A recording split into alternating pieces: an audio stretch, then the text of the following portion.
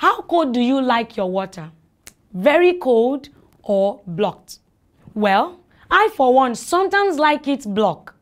When an ice block is taken out of the freezer and broken to pieces without returning them to the freezer, the ice turns to water, right?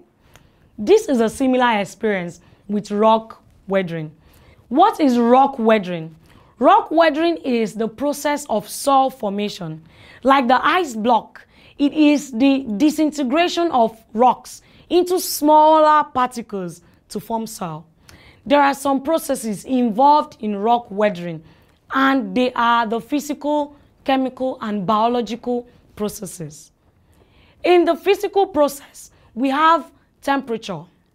You must be wondering how temperature plays a role in weathering.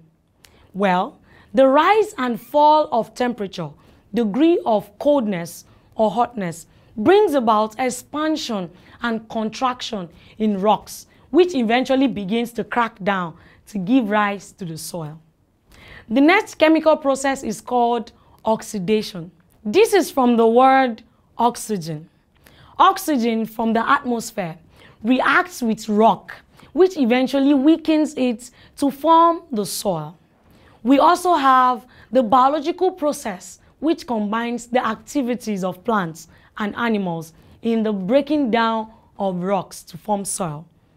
Are there any other processes?